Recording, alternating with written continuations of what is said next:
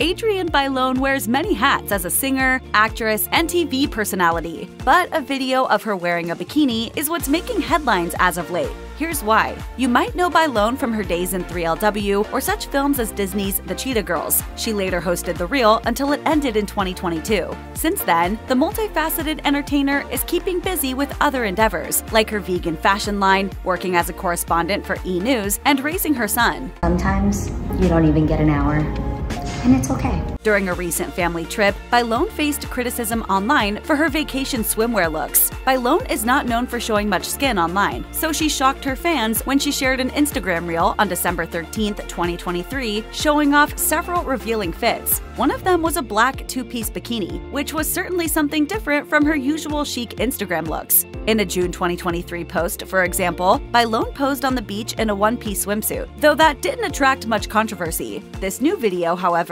prompted some viewers to accuse the mom of undergoing cosmetic surgery. Bailon shot down the accusation, making it crystal clear where she inherited her great physique. In the caption for the video, Bailon said that she wanted to give her fans some behind-the-scenes content from her Mexican vacation. She initially decided against using social media on her trip, but later changed her mind. The former child star proceeded to list the details of each piece she wore, revealing that the black bikini was made by Paula Hermanny and her sunglasses were from Prada. What was meant to be a get ready with me style clip, however, turned into a discussion about her body. One fan wrote, Wow, you have a great surgeon. Bailon hopped in the comment section to respond directly to the troll, replying, Wow, this is the greatest compliment. My surgeon is Nuyorican Mama. The Instagram user in question is none other than Bailon's mother, Nilda Felix. So Bailon's comeback was a nod to Felix, insinuating that she had handed down her genetics to her famous daughter. Felix has gained a large online following of her own, with over 35,000 people keeping up with her via Instagram.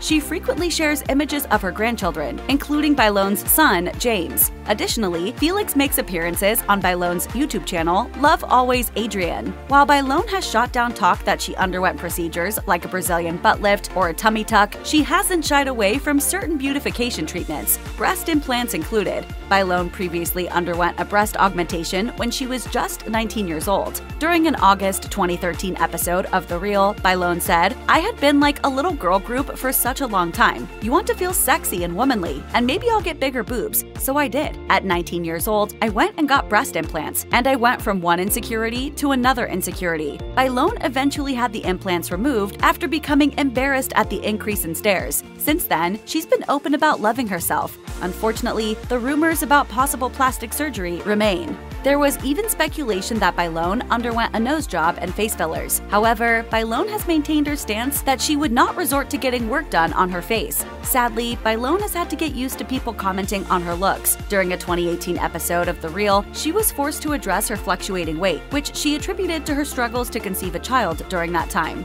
Thankfully, Bailon is now a mother and seems very comfortable with her looks.